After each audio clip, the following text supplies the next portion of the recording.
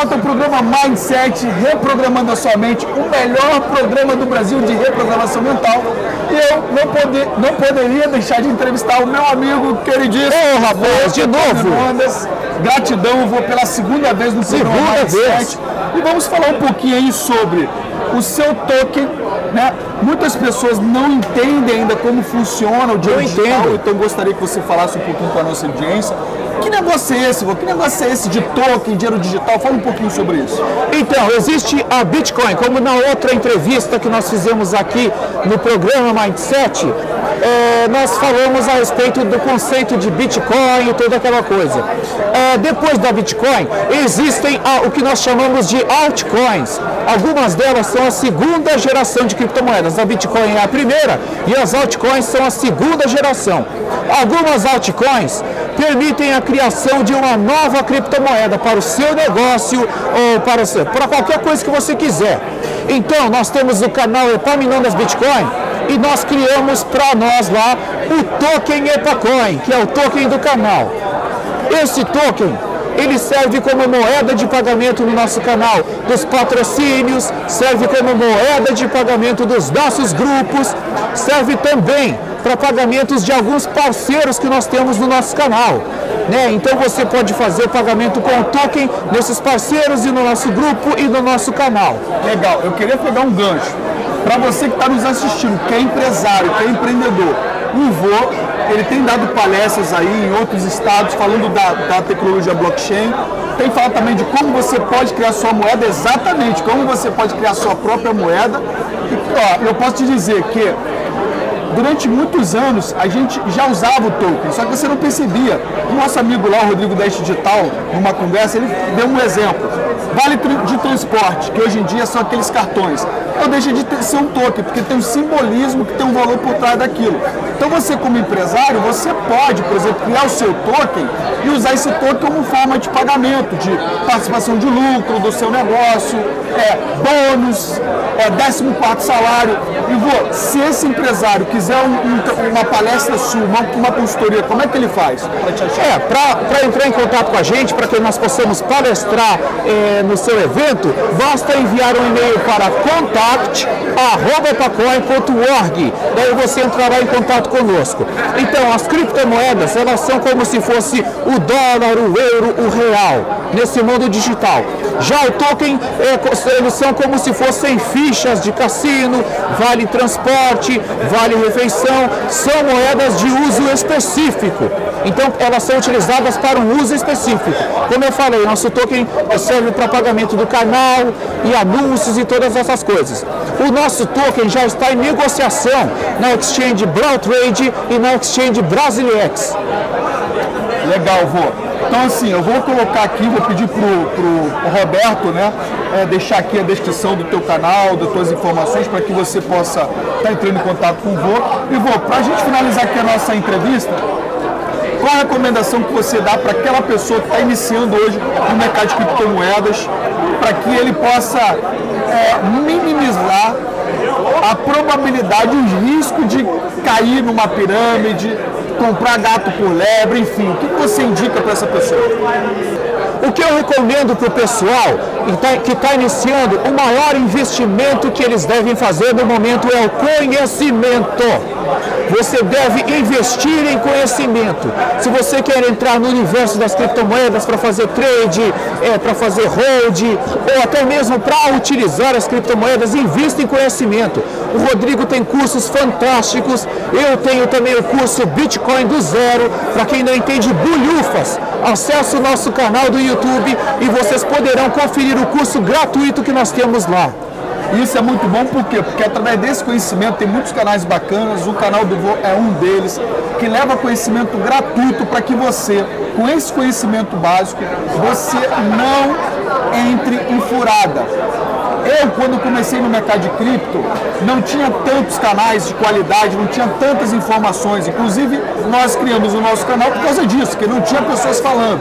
Então, hoje tem muitos recursos. Você vai cair numa furada se você tiver preguiça para separar 5, 10 minutinhos para estudar um pouquinho e entender esse mercado extraordinário que é do mercado de criptomoedas. Exato.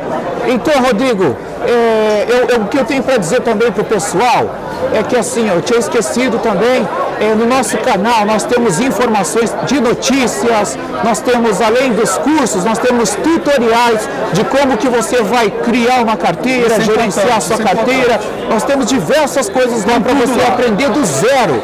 Então você vai conseguir operar até com criptomoedas. Para você ter uma ideia, no nosso grupo nós tínhamos pessoas que não sabiam nem como criar um e-mail e hoje estão fazendo trade. Caramba, que legal. Isso é fantástico, Vô. Parabéns, gratidão. Vô, Obrigado, eu que agradeço por essa, essa oportunidade de, de poder estar aqui com vocês mais uma vez, Rodrigo. Beleza, e fica ligado porque nós vamos entrevistar outras pessoas e vamos continuar aqui na cobertura da Bitconf Summer em Fortaleza.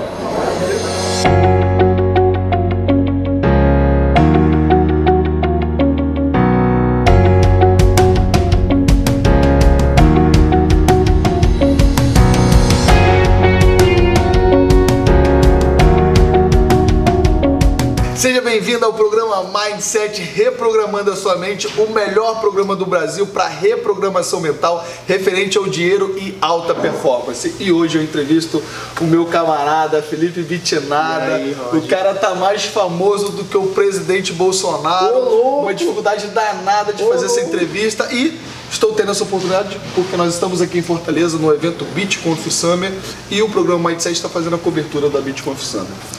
Ô, Filipão, é o seguinte, você que é um cara aí que está trabalhando nesse mercado de criptomoedas, está é, tava falando comigo de um setup novo que você criou, depois você vai falar sobre isso aqui no programa também. Queria que você falasse o seguinte, primeiro que você contasse um pouquinho da tua história. Quem era o Felipe antes de ser o Bitnada? Cara, o Felipe antes de ser o Bitnada, que loucura, hein? Era um cara que tinha duas filhas, uma mulher, um monte de empresa e sem felicidade nenhuma, né? E aí depois, não só do Bitnada, mas depois que eu conheci a criptomoeda, eu me achei. Porque a vida inteira eu achei que, que o amor da, da minha vida profissionalmente falando é, seria fabricando e vendendo roupa, né? Eu fui o, provavelmente o maior fabricante de roupa da Baixada Santista, né? Roupa feminina. E eu adorava fazer aquilo. Até que eu comecei a investir em criptomoeda, comecei a entender o negócio, ler, estudar sobre blockchain e eu achei o negócio transformador, né? E hoje praticamente a minha renda, o meu trabalho, claro que eu não ganho mais como eu ganhava com o canal, não, não, não tem essa possibilidade, Primeiro por enquanto. por enquanto, mas é, hoje eu faço o que eu realmente gosto. Eu me achei realmente na criptomoeda, no Bitcoin e nesse mercado louco. Muito bom, muito bom. E esse gancho é muito importante, você que está nos assistindo aí.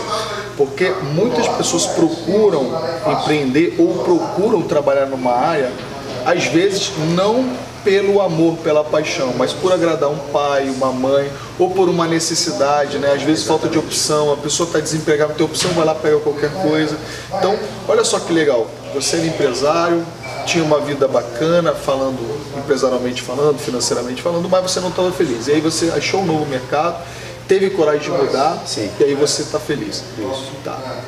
Hoje, se você tivesse que dar uma dica para uma pessoa que quer empreender, né, qual é a dica que você dá para que essa pessoa tenha coragem para fazer essa transição? Né? Porque você tem que ter coragem. né? Muita, né, cara? Inclusive eu enfrentei resistência dentro da família. Tá? Quando eu comecei, a primeira empresa que eu fiz, que eu abri, eu tinha 18 anos. Tinha acabado de fazer 18 anos. E eu lembro que uma pessoa da minha família chegou e me botou muito pra baixo, né? O cara, a, a moça chegou pra mim, não vou falar quem é, mas é da família, chegou pra mim e disse o seguinte: Felipe, antes de você começar a querer mexer com o dinheiro dos outros, você precisa trabalhar num banco e entender o que é dinheiro, que você não sabe nada, você não sabe o que é dinheiro, você vai quebrar, você vai falir, você vai ficar com o nome sujo pro resto da vida. E assim, eu lembro que era uma festa de família, uma confraternização de fim de ano, e eu fui pra casa mal, mal, mal, fui mal, sabe? Pô, dentro da tua família o cara não te apoia. E aí a chance era de eu pegar e falar assim, não, realmente, eu tenho que procurar um emprego, eu tenho que aprender o dinheiro e tal. Era a forma mais fácil. Era a forma mais fácil. Mas eu levantei no dia seguinte e falei, não, não, não é, não é assim, não tem que ser assim. Por que, que é assim? Eu quero lutar, eu quero conseguir, eu quero ir lá, quero quebrar a cara. E se eu errar foi porque eu tentei, eu fiz a coisa errada ou eu fiz a certa e eu quebrei a cara. Eu quebrei a cara. A minha, nos meus primeiros dois anos de empresa, eu contraí uma dívida de mais de um milhão de reais. E assim era uma coisa impagável, impagável. E aí mais uma vez eu tinha que lutar contra os meus erros, é, lutar contra todos os fantasmas que eu adquiri nesses dois anos e eu consegui reverter a situação. E aí, a partir daí, a coisa deslanchou e com mais leveza consegui levar as coisas. Legal, Felipe. Cara, eu já te admirava, né? Agora eu tô te admirando mais.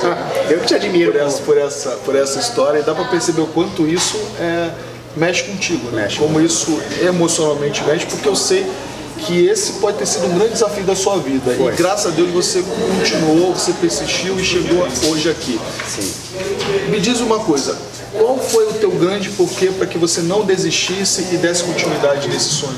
Eu acho, ô Rodrigo, que quando chegaram pra mim e falaram que eu não ia conseguir, eu acho que mexeu um pouco no brilho.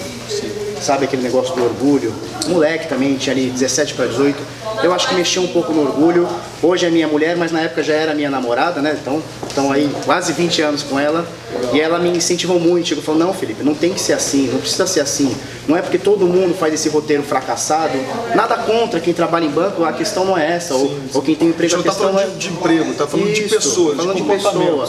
Não é porque você tem que seguir a manada que você tem que ser a manada, entendeu? Sim, sim. Então ela me incentivou muito e, meu, foi muito importante para eu conseguir chegar e dar a volta por cima. Várias vezes, né? Porque depois disso eu cheguei lá em cima, caí de novo, cheguei lá em cima. Faz parte da jornada do Faz parte da jornada. Por exemplo, eu estou na minha quarta empresa. Aí a pessoa fala assim, pô, você teve o sucesso da noite pro dia. Sim, foi da noite pro dia, mais três empresas quebradas e não sei quantos anos de treinamento. E muita experiência, né? É, então acaba, acaba que, que, que, que muda um pouquinho. E me diz uma coisa, se, vo- se você tiver, se você é, pegasse o gancho sobre a questão da blockchain, sobre a criptomoeda, qual foi o gatilho que ah, virou a chave e te trouxe para que virou a chave. Cara, eu acho que eu comecei a viciar em ler sobre blockchain, Bitcoin, criptomoeda, altcoins e tal. Ah, e chegou um momento, cara, que, tipo assim, eu fazia meu trabalho, acordava às 6, 7 da manhã, fazia meu trabalho, chegava em casa, ficava com minhas filhas, tal, minha mulher e tal. E aí, quando todo mundo ia dormir, eu pegava lá o, o tablet, ficava vendo Edilson, ficava vendo o pessoal. E, aí- e aí chegou um momento que minha mulher falou assim: Não, você tá viciado, você tá vivendo isso, só que você não tá. é, é, Corpo presente 100%. presente 100%. Então, assim, você vai ter que tomar uma atitude na sua vida. Ou você vai investir seu dinheiro ali e ficar quieto, ou você vai viver isso. Para viver isso, aí você vai ter que trabalhar com isso. Que é a única forma de você viver isso 24 horas por dia. E, pô, eu acho que foi um empurrãozinho para eu falar assim, eu acho que é isso aí mesmo que eu quero. E eu fui para cima. Legal, qual o nome da sua esposa? Flávia. Flávia, né? Não sabia, mas depois eu vou elogiar a Flávia, vou apertar a mão da Flávia, porque, cara, 50% do sucesso ou 51% do sucesso do Felipe Bittinado até a Flávia aí. É, eu acho que 90%. Porque, porque nos momentos mais importantes Sim. a Flávia estava lá em cima foi, foi um ela, empurrão. foi ela que, E, que- e isso é muito legal, né? Você aí que, que tem um relacionamento, né? É, o programa Mindset é isso, é muito mais do que dinheiro, mas é você realmente performar melhor na sua vida pessoal, profissional. E, e você tá com a pessoa bacana ao lado, Sim, uma pessoa que é soma coisa. e não, e não divide, subtrai, Sim. é muito importante, né? Então parabéns à tua esposa, né? Creio que Tive a ela, sorte de ela vai encontrar estar ela. assistindo esse programa agora, né? E aí vai receber o parabéns. Dica que você dá para quem quer entrar no mercado de criptomoedas para que essa pessoa não entre numa furada, não entre numa scan, não entre numa pirâmide, o que, que você dá de dica? Primeira coisa, Rodrigo, tem que estudar muito, né? A criptomoeda ela veio do ano de 2016 para 2017 num sonho que a pessoa ia botar mil reais e dali dois, três meses ia ficar milionária, tá? Isso aconteceu? Aconteceu. Para algumas pessoas. algumas sim, pessoas. sim. Quer dizer que vai acontecer de novo no futuro? Ninguém sabe. Ninguém sabe. Pode acontecer? Pode. Mas eu acho muito difícil hoje você pegar 10 mil, 50 mil, 100 mil e, e ficar milionário. Né? Então a primeira coisa que eu acho que a pessoa tem que fazer é estudar. Né? Ler sobre o Bitcoin, o que é o Bitcoin, o que é blockchain, né? o que é uma carteira, o que é um hash. Esse tipo de coisa toda para você não entrar numa furada. Porque o que tem de cara aí querendo levar o seu dinheiro do modo fácil, É, tá cheio, bastante, tá cheio. tem bastante, tá, tem muita bastante, gente. Então a ideia é essa, é, é estudar, fazer tudo com calma, com elegância, tranquilidade e fazer sempre aos pouquinhos. né? Sempre aos pouquinhos, né? Com certeza. E, e é isso, cara. Te agradeço, né, que por, agradeço. essa, por essa entrevista. É, para quem quer saber mais sobre você, acessar seu canal, como é que faz? Bacana. youtube.com.br bitnada ou www.bitnada.com.br. Beleza, vou pedir pro Roberto colocar aqui, tá? Os dados aqui do, do Felipe Bitnada e você pode acessar o conteúdo do Bitnada lá. Tem conteúdo diariamente sobre o mercado de criptomoedas, beleza? Filipão, Obrigado, gratidão. irmão. Gratidão. Obrigado. Obrigado. Tá bom? E fica ligado que no programa Mindset de hoje ainda teremos outros entrevistados.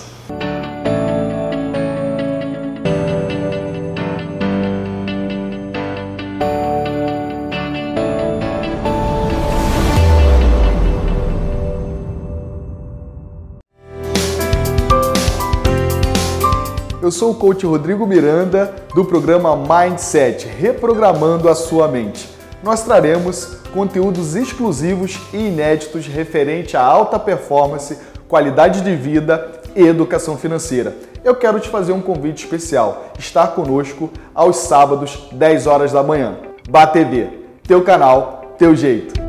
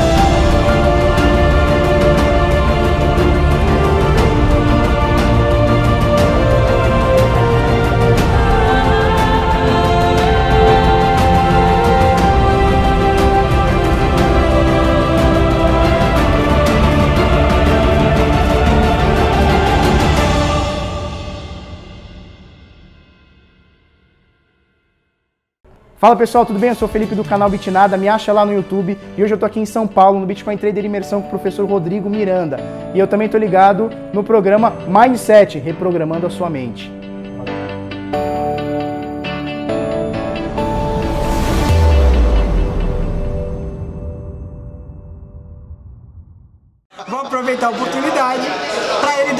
Dicas aí pro pessoal, né? Dicas de investimento, né? Nesses últimos aí, né? Últimos meses, últimos anos.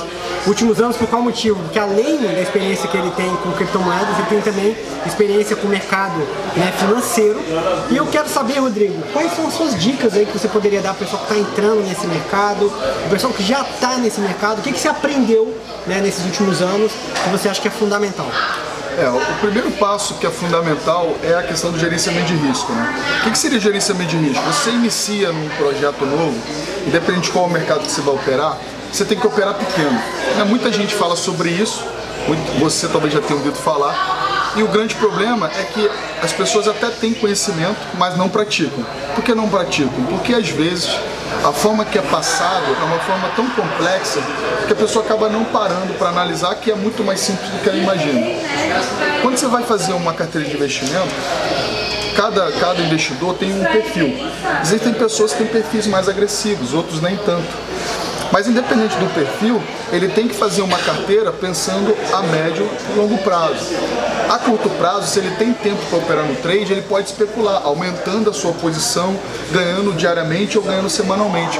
Mas é comprovado que os investidores que pensam a médio e longo prazo, eles conseguem ter resultados melhores do que aqueles caras que ficam pensando só no hoje, né? Porque quando você está pensando muito diariamente, não tem uma visão de longo prazo, você fica muito vulnerável às manipulações. Então, se ele começa pequeno, se ele sabe diversificar, e ele faz um planejamento pensando a longo prazo, ele não vai ficar na dependência de apenas um mercado e de fases que o mercado tem, que são fases sazonais. Por exemplo, a gente está numa fase difícil hoje no mercado de cripto, mas 2017 foi muito bom.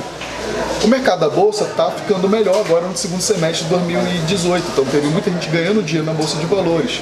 Então o cara São que, ciclos, né? ciclos, exatamente. O cara que é investidor, ele tem que pensar como um todo. Ele não pode levantar a bandeira só de um mercado ou de apenas uma moeda, né? Por exemplo, você mesmo dá vários exemplos, você curte algumas moedas, mas nunca vi você levantando bandeira. Você fala, gente, vamos lá, vamos pensar de uma forma adulta, de uma forma é, é, é, profissional, para que você pegue as oportunidades do mercado, mas não enxergue só numa moeda, né?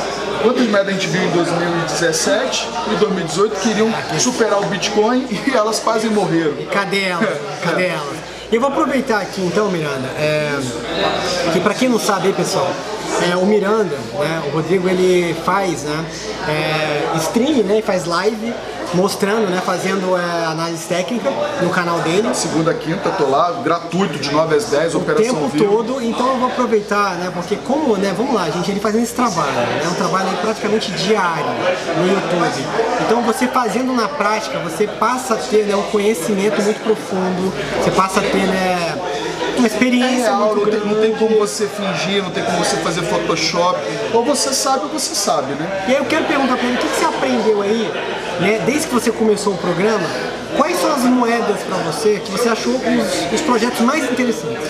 Sim, quando a gente fala de projeto, né, o que eu posso dizer é o seguinte, que hoje eu tenho uma carteira de hold, né, que inclusive eu coloquei no meu canal, e aí eu diversifiquei, claro, com moedas que, que são mais sólidas hoje no mercado, que tem a Bitcoin, a, a Ethereum, a Dash, né, Litecoin, estão dentro da minha carteira. Tem aquelas carteiras que tem projetos ba- bacanas, pensando a longo prazo. Eu gosto da, da, da Nil, gosto da, da Cardano, né?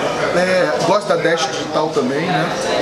Então tem essas moedas e tem aquelas moedas que a gente pensa assim, que são moedas que eu coloco um valor menor, que são projetos iniciais ainda, que são promessas, mas que tem um grande futuro é, para frente. Né? Eu tenho a, a moeda da Binance, a BNB, e tenho a VeChain, né? uma das moedas que eu tenho, é, se eu não me engano, São projetos inovadores. são, no- é, são projetos que estão começando agora.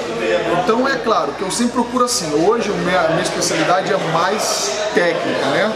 É, você é um cara que conhece bastante análise fundamentalista, né? Inclusive indico, se você não comprou o curso dele ainda, compre lá o relatório dele. Comprar o seu é curso. Fera, fera o curso dele é, é o mais, né, é o mais popular do Brasil, tá, gente? Pra quem não sabe, tá? É o curso mais popular do Brasil, tá? De cripto trade. Então, assim, né? Não tem nem o que falar, né? Vai aprender parte técnica, vai aprender comigo lá, análise fundamentalista, vai aprender aqui com meu amigo Pantoja.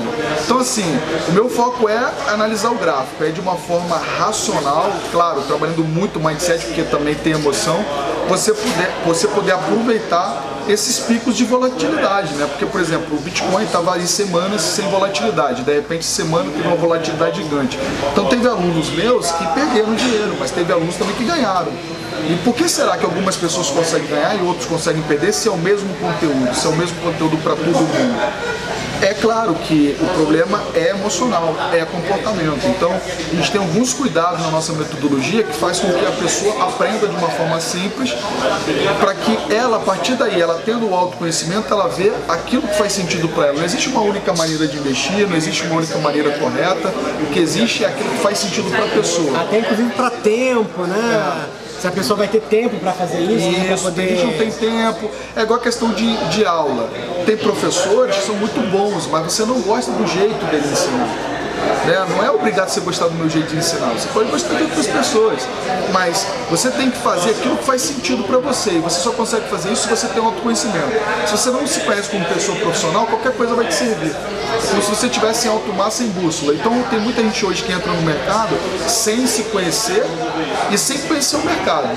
E aí isso é uma, é uma receita que é muito difícil de dar, de dar certo, porque a gente está no mercado muito volátil, que está ainda amadurecendo ainda, então a probabilidade de manipulação são maiores do que outros mercados, porque todos os mercados é manipulado, não tem como você dizer que não é manipulado, não tem, não tem. Inclusive eu tenho um vídeo que eu falei no meu canal há meses atrás, quando teve aquela queda grande da Petrobras, na época do da greve dos caminhoneiros.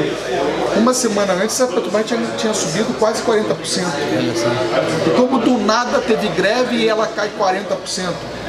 Tu acha que as pessoas estavam se posicionando antes e vendeu no pico não tinha informação? Ah, vamos lá, né? Vamos convenhamos. Tu acha que as pessoas não vazam informação?